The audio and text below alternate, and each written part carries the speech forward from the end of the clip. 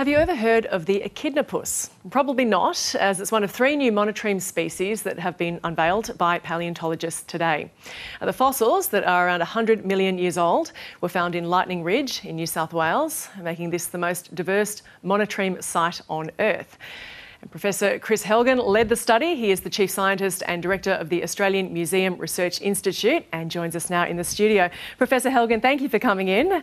Uh, now, these fossils, they were from Lightning Ridge, as we just heard, but they were in a drawer that just so happened to be opened. Can you tell us about that? Yeah, well, you have to realize that at a place like the Australian Museum, behind the scenes, we have these phenomenally large collections of mm -hmm. natural science objects. So things can go overlooked for a, a while. These were actually uh, excavated, unearthed at Lightning Ridge about 20 odd years ago. Mm -hmm. uh, they came to us, and it was only fairly recently we got a chance to take a close look and realize what these really are. Mm. Tell us about the huge leap that this is. This is a really exciting story, and it's a quintessentially Australian story. Animals like our platypus and echidna, where do they come from? This is a huge piece of that chapter. So, age of the dinosaurs, 100 million years ago.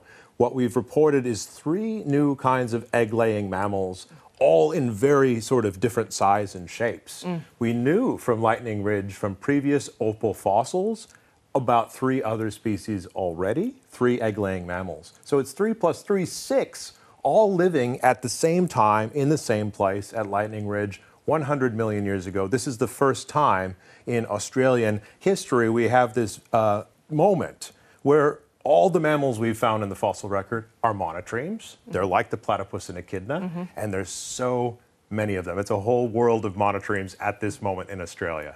So tell us about the echidnapus and uh, the other monotremes that you've uncovered. So these three, one of them is something that I should explain. This is basically just a term of endearment, mm -hmm. yeah. calling it the echidnapus. This is a, a, a largest monotreme, a bit bigger than a platypus it's got some characteristics that show that it's becoming something like a platypus. Remember, this is a long time ago in the fossil record. But it's also got a narrow snout and jaw that reminds us something of an echidna. So it's not exactly the ancestor of all the echidnas and platypuses, but it's something that early in the record kind of foreshadows these different weird anatomies that we have in the modern species. So, not direct ancestors, as you say, but what does it tell us about the modern day platypus or echidna? It gives us this really important snapshot of how a platypus became a platypus because another one of the species is the first, what we might call sort of card carrying platypus. Mm -hmm. And the, we have the echidnapus and we have an early platypus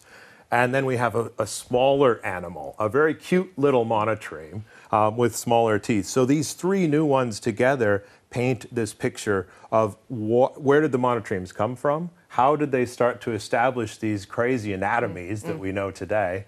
Uh, and how uh, for the first time, we can ask that question how did they all make a living living together in this same environment? Yeah. So, yeah, a lot of questions uh, to be answered still on this, but uh, researchers claim this was an age of monotremes. Do you agree with that? I think so. Um, it's definitely our first glimpse mm. into, again, a window in Australia where we see six mammals, all of them monotremes at 100 million years ago. It gives us a clue, something really important clue about Australia, our deep past and you know how our mammals came to be.